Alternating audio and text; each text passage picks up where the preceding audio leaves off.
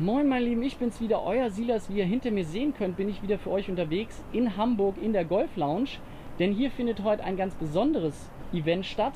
Denn dank des Trackman Range Systems und des Spiels Nearest to the Pin haben sich fünf Spieler qualifiziert, um heute einen Startplatz bei dem Porsche European Open beim dortigen Pro Am zu erspielen. Heute auch dabei ist Maximilian Kiefer. Ich versuche ihn vor die Kamera zu kriegen und ihn ein paar Fragen zu stellen. Ob mir das gelingt, das seht ihr wie immer nach dem Intro.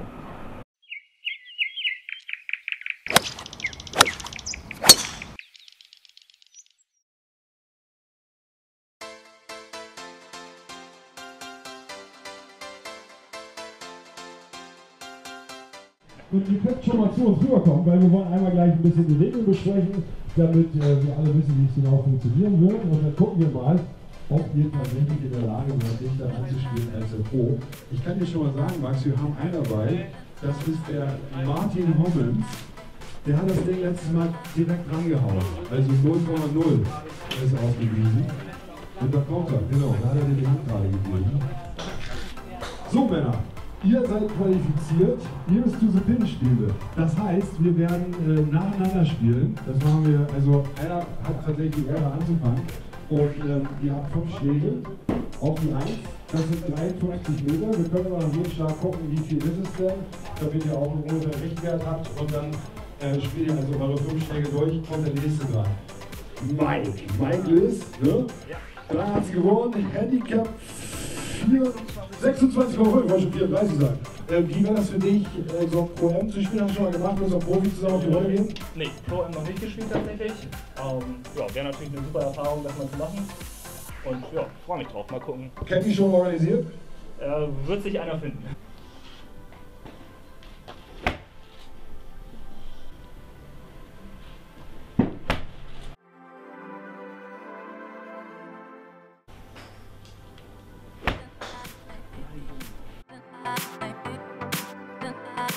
Toi, toi, toi. Auch mal Handicap 54?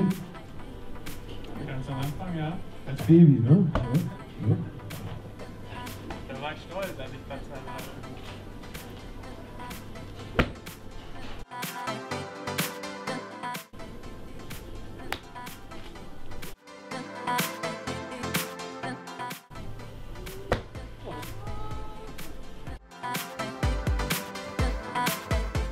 Jetzt haben wir Marvin, ne? oder?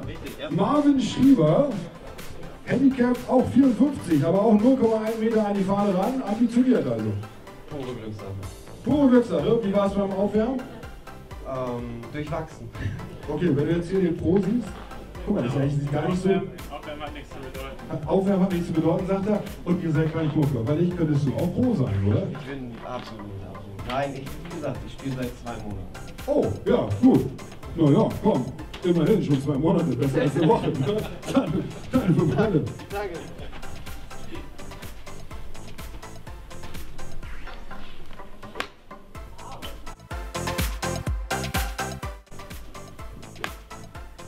Das war ein kleiner Applaus wert. Das war nur 1,3 Meter auf der Waage. Ich glaube, es ist ein Handicap-Schoner.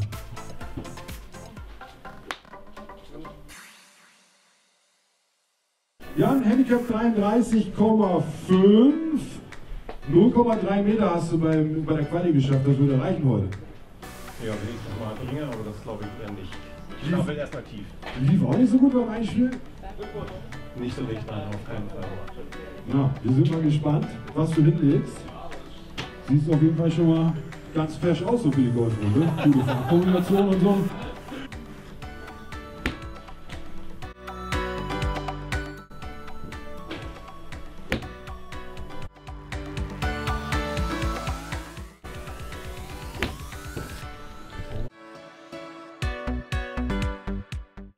Oh, hier, ganz lässig. Oh, hier, guck mal, das Cappy und so, da muss noch was gehen. Halli, ne? Richtig. genau. Halli, du hast dich qualifiziert. Ähm, ein Meter hattest du an die Fahne rangeschlagen. Wie ist denn eigentlich so dein Handicap und deine Einstellung zum Golf? Ähm, Sehr gut, schätze ich. Handicap schätze ich. So, ja. Hast du ein Trainingslager extra gemacht oder so? Äh, ich bin hier Mitglied. Trainiere hier. Achso, trainierst du sowieso, da siehst du. Heimvorteil. Hat er, genau, also Heimspiel und auch einfach, also ja, macht natürlich einen Eindruck hier, ne? eine Gestalt. Die will man sehen. Guck mal, die drei Danke. würde nicht reichen, die du auf dem Trikot hast. Muss irgendwie eine 1 vorne sein oder noch eine 0 sogar.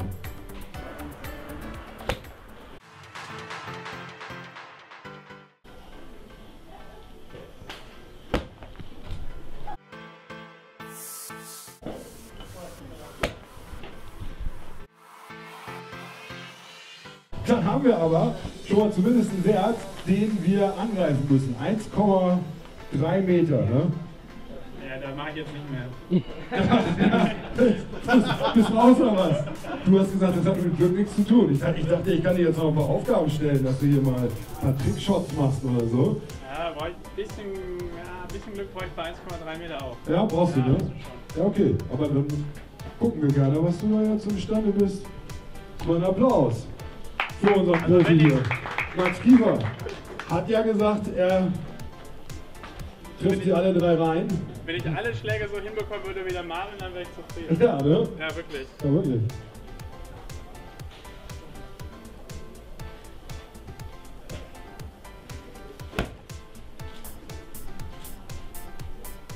Wow! Alter Schwede! Er sagt ein Meter, aber wir haben das alle gesehen, das Ding ist draufgeklatscht. Halleluja! Ja, Ich glaube, er muss nicht mehr, oder? Muss er noch? Das ist ein Zeichen, ein Zeichen. Es kann doch nicht wahr sein. Das mit dem Glück stimmt übrigens auch nicht. Ja, stimmt. Ne? Das ist alles. Warte mal. Jetzt probieren wir das mal aus. Mach es, Max! Komm, Junge! Mit Anfeuerung ist das nicht so gut, ne? Siehst du? Aber auch stark. 3,1 Meter.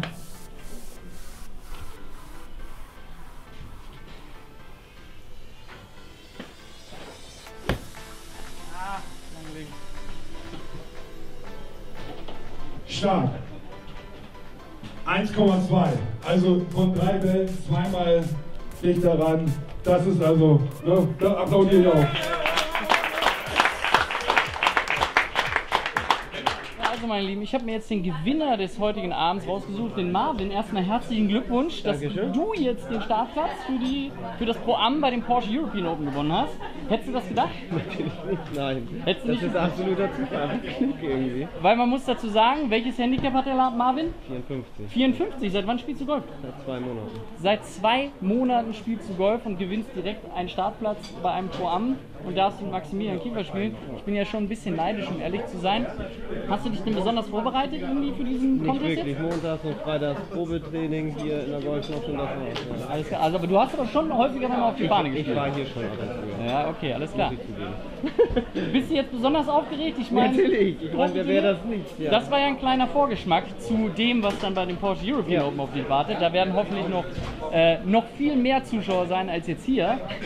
Ich wünsche dir auf jeden Fall viel Erfolg. ja, danke schön. Äh, mal gucken, ob wir irgendwie rauskriegen, wie ihr so gespielt habt. Ja. Äh, ich werde mich auf jeden Fall dahinter hängen, denn ich bin wahrscheinlich am Mittwochabend auch nochmal Okay, in okay. Winsen. Dann können wir uns sehen. Also herzlichen Glückwunsch und viel Erfolg in Winsen. Dankeschön.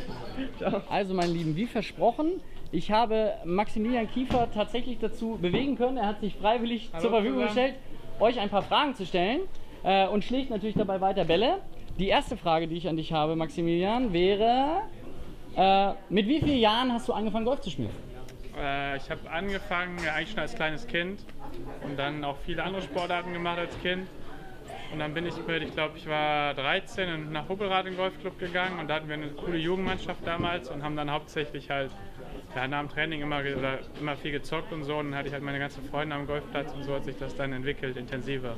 Okay, also mit 13 erst so richtig Ja, intensiv. intens also angefangen habe ich ja, mit vier, fünf, aber als Kind machst du ja das und jenes und Ja. das und dann so ab 12, 13 war dann eigentlich dann nur Golf. Die nächste Frage wäre: ähm, Was war dein Handicap, als du Pro geworden bist? Äh, ja, das ist im Endeffekt nicht mehr so wichtig eigentlich in den letzten Amateurjahren, was du für ein Handicap hast. Du spielst halt so die internationalen Turniere, probierst dann da Ranglistenpunkte zu sammeln und so. Aber mein Handicap war, würde ich sagen, plus vier hatte ich so, plus vier, ja. Und ich war, mein Bestes war, glaube ich, äh, Zehnter in der Amateur-Weltrangliste. Und als ich dann Pro geworden bin, war ich vielleicht da so 50. oder so. Okay. Die dritte Frage wäre, mit wie vielen Jahren warst du einstellig? Oh, gute Frage. Äh, ich schätze mal, das war so zwölf, würde ich sagen. Okay. Genau weiß ich es auch nicht mehr, aber es müsste so 2000, ja 2003 wahrscheinlich, 13, 12, 13. Okay, cool.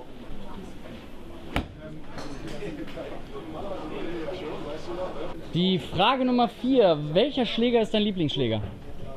Äh, wahrscheinlich Eisen 8. Eisen 8. Ja. Cool. Das ist meine. Ja.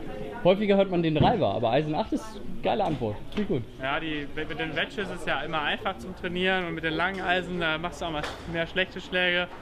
Ja, mit so mittleren Eisen trainiere ich eigentlich gerne, weil dann hast du das Gefühl, du musst gute Schläge machen, aber es ist auch nicht ganz so schwer wie mit dem Eisen 4 oder 5.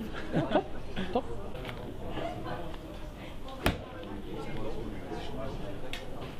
Gut. Eisen 8 ist der Lieblingsschläger. Jetzt äh, ist natürlich interessant, was ist deine Lieblingsdistanz? Hast du eine? Äh, wenn ich jetzt mir das auswählen kann, ja, eigentlich so nah ran wie es geht. So nah ran, So nah ran, also auf paar fünf Löchern lieber einen kurzen Ja, so Chip nah als so ein wie es 70 geht. Meter Schlag. Ja, ich habe eigentlich eine gute Wedge- Wedge-System. Also eigentlich so nah ran wie es geht. Solange der jetzt nicht irgendwie im Raff oder Wasser ist, aber Cool. Okay.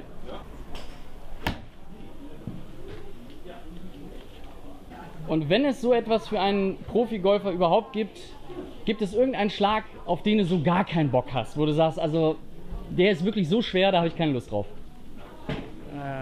Ja, so ein Meter 50 Part Downhill links, rechts würde ich sagen. Ja, ja, wahrscheinlich. Ja, sehr cool. Also, ähm, ja, wie ihr gehört habt, äh, auch beim Putten geht einem manchmal die Düse, wenn man das so sagen kann. Also, dass der Putt jetzt ein Schlag ist, bergab ist jetzt. Äh, So eine Zitterdistanz ist. Ja. Ja, cool. Auf jeden Fall vielen Dank, dass du äh, uns die Fragen beantwortet hast. Äh, ich wünsche dir auf jeden Fall viel Erfolg. Drück dir die Daumen bei den Porsche European Open. Dass du da richtig das Haus rockst. Und ihr, Geht mein Bestes. und ihr kommt natürlich alle fleißig vorbei, drückt auch die Daumen und schaut natürlich zu. Ja, mein Lieben, das war also mein kleiner Bericht über das Shootout für einen Startplatz beim Pro-Am bei der Porsche European Open hier aus der Golf Lounge. Das Trackman Range System hat mal wieder gezeigt, wie spaßig und spannend so ein Spiel sein kann. Ansonsten hoffe ich, dass das Video euch gefallen hat. Wenn dem so ist, gebt mir gerne einen Daumen nach oben. Ich freue mich auch über jeden neuen Abonnenten meines Kanals. So kann ich euch über unser aller Lieblingshobby auf dem Laufenden halten. Ansonsten wünsche ich euch wie immer ein schönes Spiel und alles Gute. Euer Silas.